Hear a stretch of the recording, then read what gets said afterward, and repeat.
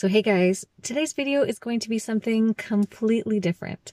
I'm on my way to go get filler put in my under eye area. Now you may think, why are you doing that? I've had this orbital cavity my whole life, like ever since I was 20. And it doesn't matter how much sleep I get, and it doesn't matter what skincare products I'm using, I cannot get rid of that. And it always looks like I'm tired. I'm sick of people telling me how tired I look. I just want something that's gonna maybe fix some of this. Maybe it'll help with the darkness that happens in here. I am unbelievably nervous. I'm terrified of pain and my face is super sensitive. So really this is totally outside my wheelhouse. I'm just at a place in my life now where I think if I can fix something that I don't like, I'm going to do that. If you want to see if I actually go through with it or if I totally chicken out or wuss out because of the pain, please keep on watching.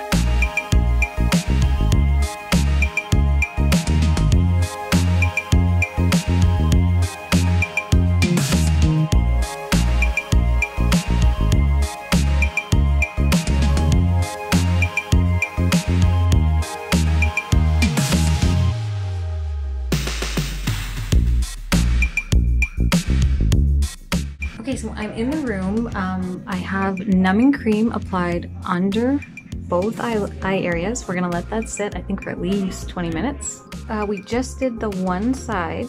You can see the difference already between this one being filled in and this one not being filled in. And you can see we're just gonna add a smidge right here just to fill out that last little bit where she has the little dots. But it really didn't hurt. The numbing cream totally worked. I'm not freaked out, I'm not panicky. I haven't had to leave the room. Holly's been great, so um, I'm to film her just doing the last little bit. Put a time code up so that if you don't want to see any of the injection part, you can fast forward. Uh, there really was minimal blood, very little, and she pats it as soon as she put it in. If you don't want to see any of the part of the needle, you can just fast forward to that part and you won't have to see it.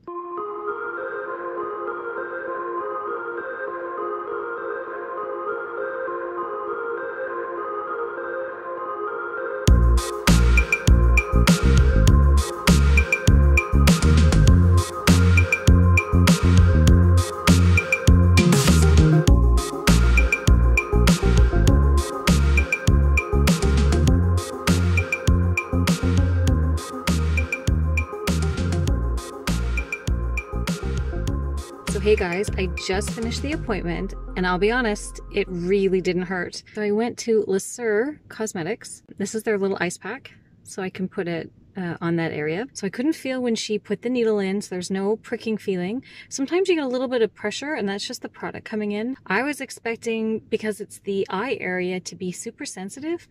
It really isn't. I'm thinking it would hurt more to get your lips done. Not that I've gotten my lips done yet. I'm still a big chicken there. It sort of looks like somebody took an iron and just ironed out my wrinkles. Like, it is fantastic. So I have a little tiny bruise, nothing major. That's going to go away in a little bit of time. So I'm really not concerned. Uh, I've got aloe vera on there right now to just bring down some of the red. I'm going to put all their contact information down below and you need to go see Holly. I'm actually going to put her name in there as well because she was utterly fantastic. They are super professional. It's super sanitized in there. They make you feel at home and they knew I was anxious and kind of jittery and they were fantastic. I have to say that's probably some of the best experience I've ever had going to a doctor or a cosmetic clinic or anything like that. So big shout out to Lucere. They were fantastic. Your next check-in with me will be tomorrow morning. I'll see you guys then. This is my skin the very next day with absolutely no makeup on. I'll do a little close up. It doesn't hurt. I can take my finger, I can pat all the way around my eye area. Nothing hurts, nothing swollen. Surprisingly, I kind of thought it would be a little more irritated. It isn't. I also kind of thought maybe you'd feel pressure so your eyes would feel like there was pressure behind them.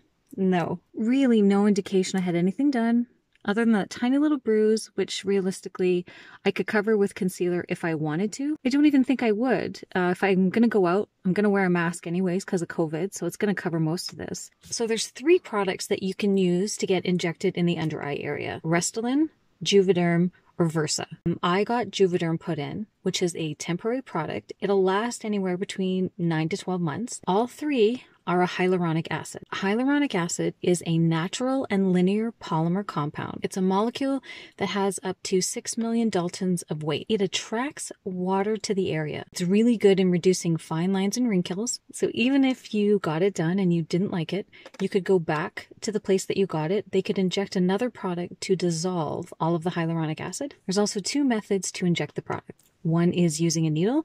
The second one is using a cannula. When I was with Holly, who is a nurse, she did say that I have some puffiness under the eye. So I'm not a good candidate for the cannula because they could accidentally put a little bit of product in the puffy area, which I don't want because it'll just accentuate the puffy. So by using the needle, she can put it exactly where she wants and she can totally avoid my, my puffy areas. Before you even go to the procedure, this is the prep that I would recommend. Two days before, start taking the arnica. The arnica is an herbal supplement that will help with bruising, not just for stuff on your face. If you got dental work done, or if you're actually getting surgery, they recommend arnica for any sort of bruising that you may get because of a procedure. Take it two days prior to your procedure and then two days after. And again, I'll list everything down below in the description box so you can find it. No alcohol consumption two days prior and two days after. No physical activity like going to the gym or working out for the first 24 hours after. I'm going to go 48 just to be on the safe side. I didn't work out the day of my procedure. I'm not working out today, and I don't think I'm going to work out tomorrow. If you start to stimulate blood pumping, that's going to make the bruising worse. Drink pineapple juice. There's an enzyme in the pineapple juice that helps with reducing swelling and bruising. It's obviously working because I have practically zero bruising, no swelling, no pain. I'll probably come back around day four and we'll see how the little bruise is doing and see if I still love it. Good morning, everybody. So it is day four, and I wanted to do a quick checkup on how my filler was doing. So I have no makeup on. I do have some sunscreen. So you can see that little tiny bruise there. Um, it's gone a little darker. So yesterday it went from blue to black, I'm going to say. And then today it's starting to fade a little bit. But you can see the rest of my eyes look great. You can't see anything. There's no, you know, um, marks or needle marks or other bruises. So yeah, it's looking great. Now it does uh, settle a little bit and that's what she did say. Um, over the next two weeks, it's going to settle. I'm going back on week two to do a checkup to see if I need anything further. Like we could add a little more. I just think it makes me look more youthful and a lot less tired. And trust me, it is first thing in the morning. So I'm not exactly 100% up yet, but I mean, I think it looks fantastic. I was going to show you guys how to cover it up if you wanted to or needed to to go out. My recommendation would be to use something that has a lot of pigment. You don't need a really thick concealer or foundation. A stick foundation will have very good pigment. It'll also have a waxy sort of texture to it because you want something that's going to cover that bruise but also stay for a long period of time. A traditional concealer that's sort of liquidy I don't think will work in this scenario. I would look for a stick foundation or there's the MAC pot concealers, that would work really well. So for today, I'm going to use my Hourglass Stick Foundation in the shade Shell. I've got a little bit on the brush, and I'm just going to tap it gently over that area. And I really didn't use very much, but you can see that totally covered up the bruise. And again, I would tap it in. I would not swipe it. You can take your finger, put a little product on it, and then just tap it into where the bruise is. This was day four, which I think it's looking really good. And I will do a final recap on day seven. So I do have makeup on the perimeter of my face only, nothing under the eye. I was going to film day seven in my get ready room, but under the lights, it's quite bright and it washes me out quite a bit and you can't really see features. So I put a little bit of makeup on to film in there. However, we are having a beautiful day here today. There's a ton of sunshine. So I figured why not? Let's go back in the car and this way I can give you guys more of a close up of what my under eyes look like. That bruise that I had right here, totally gone. As you can see, I have no bruising on this side and nothing else is over here. I'm going to insert a before and after picture. So now that I've had it for a week, I actually can't remember what my under eyes used to look like. You can still see that I have a bit of line or demarcation for where my orbital bone is. So to me, I don't feel like I look done up or overdone or fake. I just feel like I look more rested and maybe a smidge more youthful.